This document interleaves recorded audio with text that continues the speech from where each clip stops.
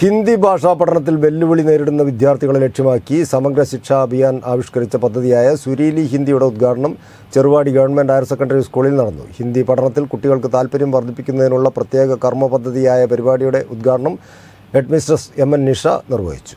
ഹിന്ദി ഭാഷാ പഠനത്തിൽ വെല്ലുവിളി നേരിടുന്ന വിദ്യാർത്ഥികളെ ലക്ഷ്യമാക്കിയാണ് സമഗ്ര ശിക്ഷാ അഭിയാൻ സുരീലി ഹിന്ദി പദ്ധതി ആവിഷ്കരിച്ച് നടപ്പാക്കുന്നത്. പദ്ധതിയുടെ ഉദ്ഘാടനം ചെറുവാടി ഗവൺമെന്റ് ഹയർ സെക്കൻഡറി സ്കൂളിൽ നടന്നു. ഹിന്ദി പഠനത്തിൽ കുട്ടികൾക്ക് താല്പര്യം വർദ്ധിപ്പിക്കുന്നതിനുള്ള പ്രത്യേക കർമ്മ പദ്ധതിയാണ് സുരീലി ഹിന്ദി. പരിപാടിയുടെ ഉദ്ഘാടനം ഹെഡ്മിസ്ട്രസ് എം എൻ നിഷ നിർവഹിച്ചു. Staff secretary Sabith Kumar U P Abdul Nasar തുടങ്ങിയവർ ചടങ്ങിൽ സംബന്ധിച്ചു. പരിപാടിയിൽ അധ്യാപകർ കുട്ടികളുമായി സംവദിച്ചത് പൂർണമായും ഹിന്ദിയിൽ തന്നെയായിരുന്നു.